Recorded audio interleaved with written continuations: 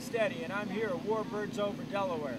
For those of you who have never been to this event, you are missing out on one of the premier events of the country.